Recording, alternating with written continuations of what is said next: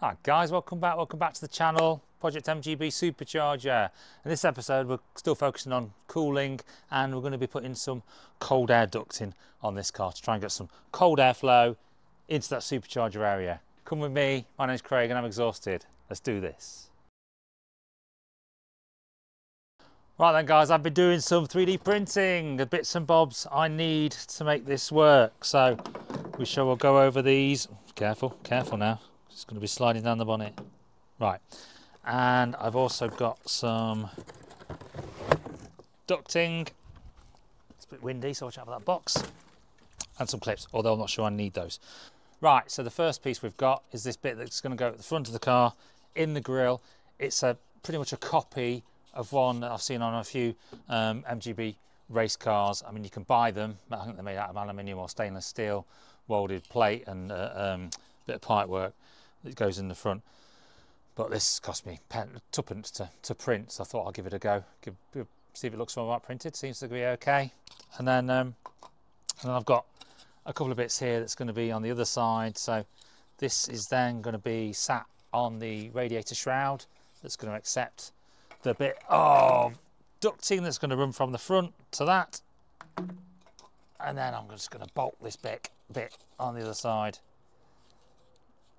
to make it look nice and neat for when I cut the hole through that radiator shroud here. Obviously the hole's not big enough, so we're going to make that bigger. Um, we're going to move the water bottle. This is going to go up there, and I'll show you that. So that's going to get moved. And then this, I've already sized all this up. It's going to sit there, just like that,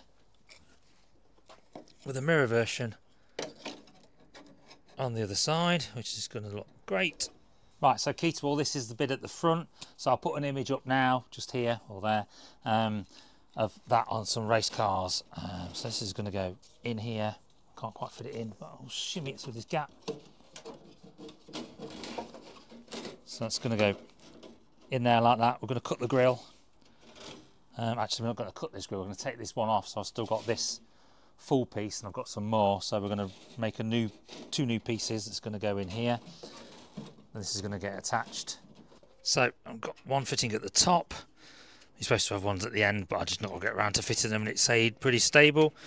So one at the top you have to get out. And then these three in here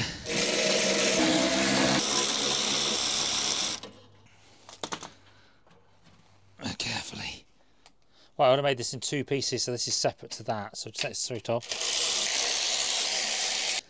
Eight millimeters. Right, this, this was a plastic honeycomb grill, so I had to space these space these out here. Because obviously it sits a bit further back, so make this flush. Right, it's still quite sharp, so be careful with that. So now we need to figure out, so that's going to go in like that. You see I've created a recess on the back of that so I can put the mesh in there. Question is how I attach that to that. 5 mil top and bottom with a thicker section in the middle. Right guys, I've just been thinking about how to mount this and how to mount this on it so it's nice and flush. So I'm going to make, this is the first one, actually the second one I did, did some reinforcement, but I'm going to quickly make some modifications to this, print it off, and then we'll be good to, again, good to go again tomorrow. Um, a few hours for me, and uh, well, a fair few hours for me, instantaneously for you, so see you in a second. Right guys, zip by magic, I'm back. So that was what we had yesterday, it's now the next day. I printed a couple more, made a few modifications to help me fit this easily um, but then I did a reprint so I want to do a few final tweaks. So right so this is what we had. This is going to go here.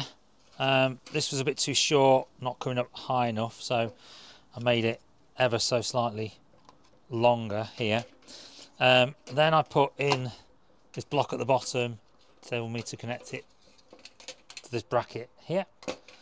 Okay um, but I put a chamfer on that but that's not take, so taken the chamfer off and then I put in these bits on the side and that's going to do is let me slide the the grill into there hold it in place So that I attach that, slide them in, and I have to do is then bolt it back down and that'll stay nicely um, flush and look good from the outside. So, um, so this one I reprinted because I wanted to change this bit and put a hole in it. So that's now in, which is great. And that hole looks to be in just about the right place. Got three holes here. So we're going to drill into the grill and then just rivet that on. So that'll lock that in place and I'll put a bolt through that hole. There, that looks pretty perfect. I mean, if those of you interested in the printing process as well, if you look at these two closely, this one's a lot shinier than this. Same filament, it's just that this one was done at much higher speed. So I slowed it right down on this one and got a much different, more silver finish. This looks a lot bluer, doesn't it? Um, still would have done the job, but that's a better, more silver, shiny finish.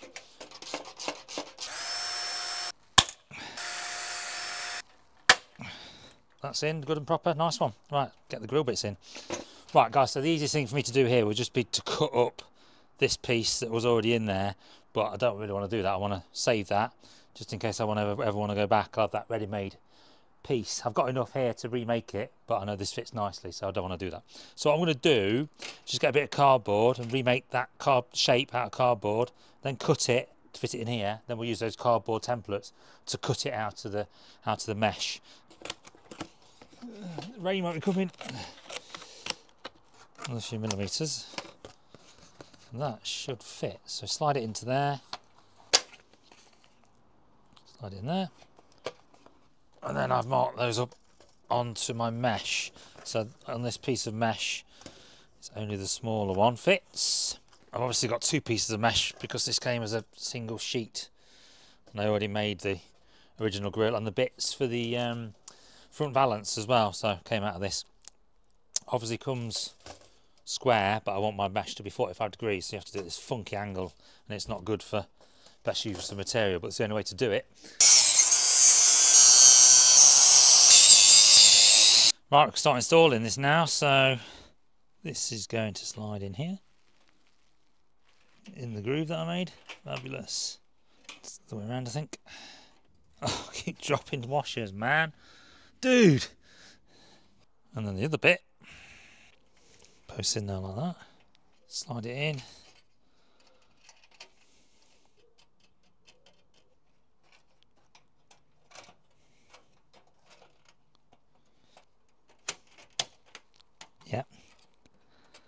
Yep, okay, good. And that, my friends, is done. So, it's all nice and neat. You can't see anything from the outside. Again, along there, in there, and down there. Nice good finish. And sitting neatly inside there as well. And both of those look. So yeah, happy days. Right, we've got to get out in the car and then do some more mods to the radiator shroud. So really good start.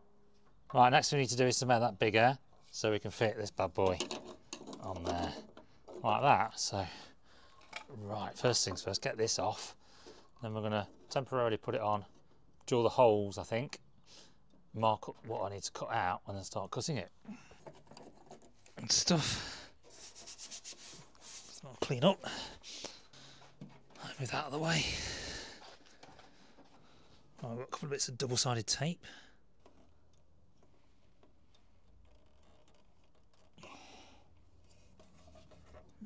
No, not right.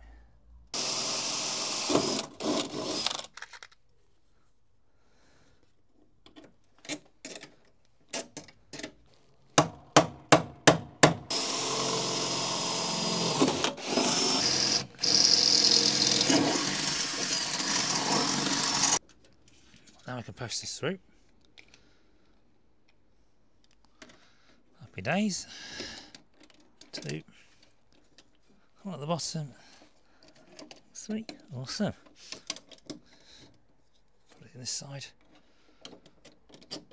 Oh, it's a good fit in it.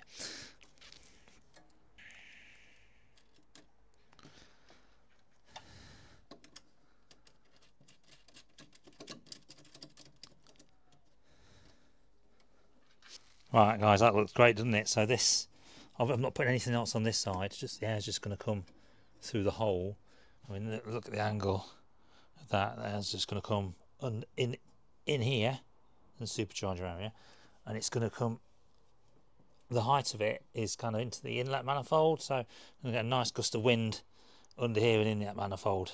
So hopefully it will come to the back and be the intake as well. So yeah, happy with that. But we'll do some testing, won't we? We've got some results with this, so we're going to try it with this and see how we get on. But yeah, it's good. But I'm not quite happy.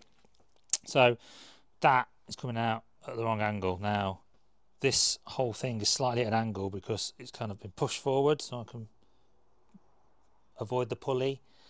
Now I could level it all back up again, but it means cocking over the radiator more. And I've already got this spacer in now, and I don't really want to do any more of that. So what I'm going to do is print another one of these with a bend on it, so it'll level up, and then actually I can go down as well because I've got to go down. Look across. I need to go down into here, which is lower. So what I'm going to do now is put the grill on, and then just figure out the angles and perhaps something with a bit of a elephant's trunk that's going to come in and slightly down. All right, let's get this horn off.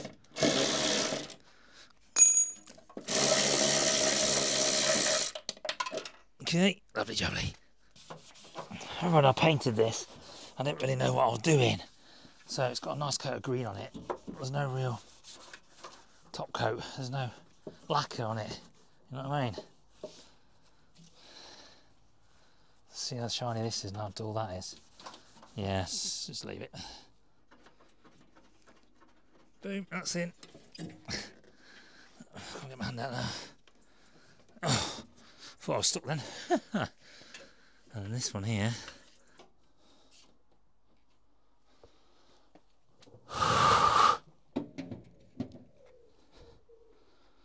Boom.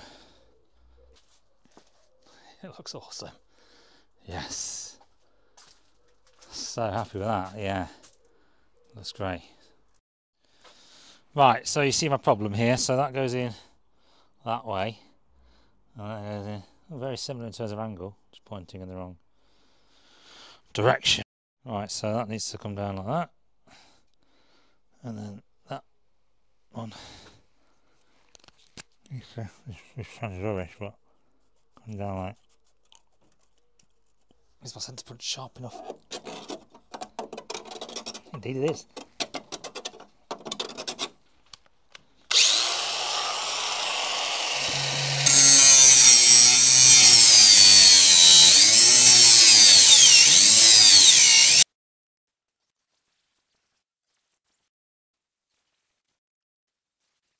Right, making good progress here, guys. All I'm doing is I'm just using my pliers, grabbing a bit, and then working it.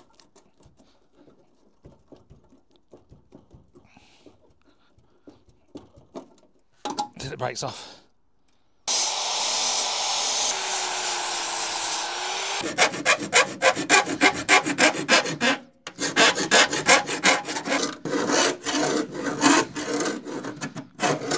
Obviously you won't see this, but let's take the sharp edges off. Right.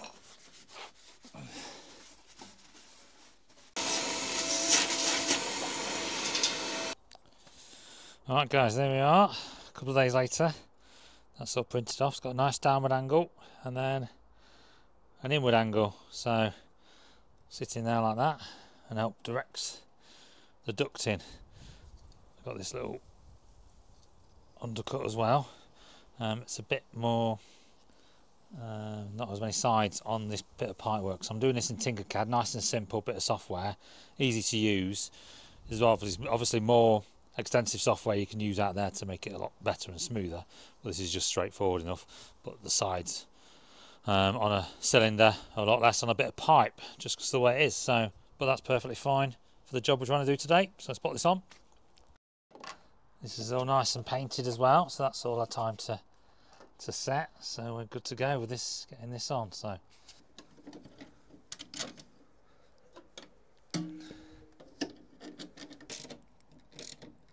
Well, there you go, guys. See straight through there now, which is great. and then that's coming down to there. Fantastic. Yeah, really happy with that. Right, this horn mount's going to be in the way, so can I, can I get in there and get it off?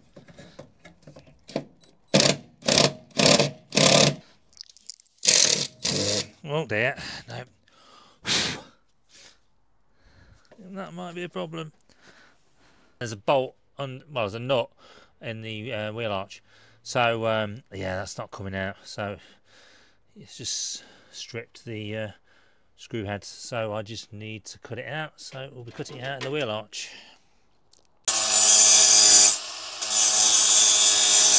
Alright guys, so I've cut that out now, so that pathway is clear. I put a bit of paint on it as well, so protective from rusting, etc, etc. That's all. I might need to put another coat on, but it's fine for now. Right, let's feed this in under here. What I've done with this is I kind of folded it in on itself to make the edge neater. Think that works quite well. So get on the front and then we can cut it to length, can't we? Okay, just drop it on there. And then what I'm going to do, I think, is just cut it long and then shorten it if need be.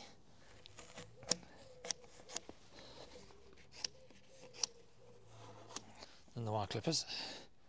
Oh my god, strong wire.